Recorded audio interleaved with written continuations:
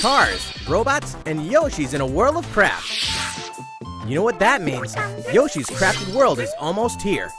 This time, we'd like to put the many facets of these crafty courses on display. As Yoshi, you'll go rafting, race solar cars, and tear through the sky on a plane. Nice shot, Yoshi! Hey, that robot's pretty huge for a miniature. Even at this scale, you'll have some challenging bosses to wrangle. Using in-game coins you've racked up, you can collect crafted costumes. If you wear one, it'll offer a bit of protection from enemies.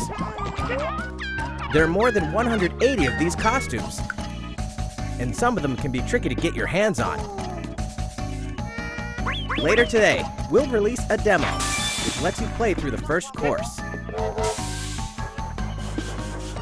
The Yoshi's Crafted World game will finally hatch on March 29th.